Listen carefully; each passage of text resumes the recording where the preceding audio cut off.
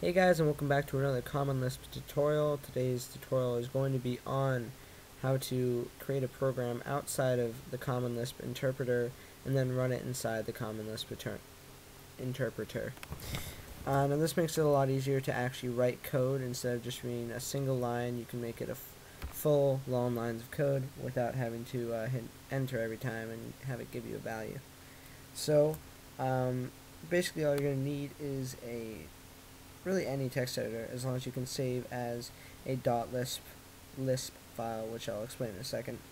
So I'm just going to go right click new and text document. So I'm just going to use good old notepad. I'm going to rename this to add.lisp uh, it's going to ask you if you want to change it. I'm going to say yes. Now right now it's going to give you this little symbol that means it doesn't know what to do and when you click on it it's going to say Windows cannot open this file because it doesn't know what to open it with.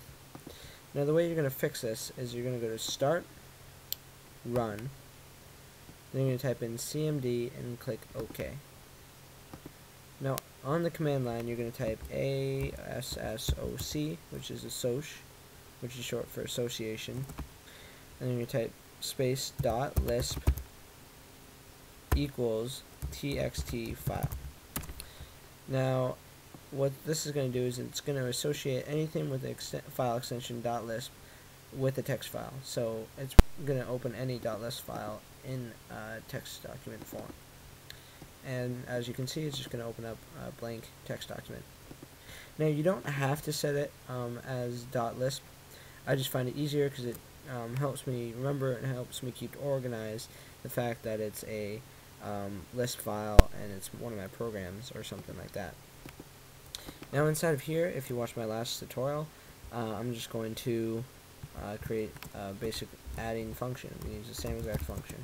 Add A and B, and then we're going to have it add together A and B.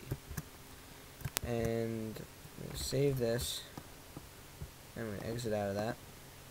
Now I'm going to open up my uh, Common Lisp interpreter and uh, in here right now as you can see if I type in add and do like 6 and 4 it's going to give me an error because it doesn't know what the function add is. It says that add is undefined because it does not exist. Um, but the way I'm going to load it into this um, interpreter is by opening parenthesis load then quotation mark add dot lisp so all you gotta do is type load and then quotation marks within quotation marks the name of the file. Now the only reason you put the quotation marks here is because if uh, your file, file name has a space in it and uh, you don't put quotations around it, it's going to give you an error because it's going to think it's multiple uh, things. So just remember to put quotations around it just as a precaution. And then an ending parenthesis here. Now we're going to we're going to hit enter and it's going to say loading add.lisp, finish loading add.lisp. If it's a really, really large file, it's going to say loading for a little bit, then it's going to say finish loading. Um, now that we're done loading that, we can go to add, and then 5 plus 10, and it's going to actually do it, 15.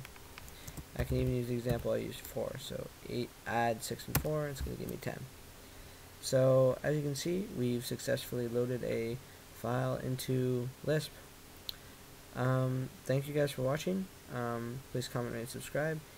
Uh, if you have any questions, you can ask me in the comments. You could PM me, or I have an AIM account devoted completely to you guys, which is called CP Answer Man. C P A N S W E R M A N.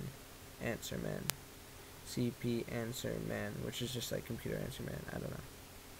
Anyways, uh, thank you guys for watching. Comment, rate, subscribe, all the usual stuff. Bye.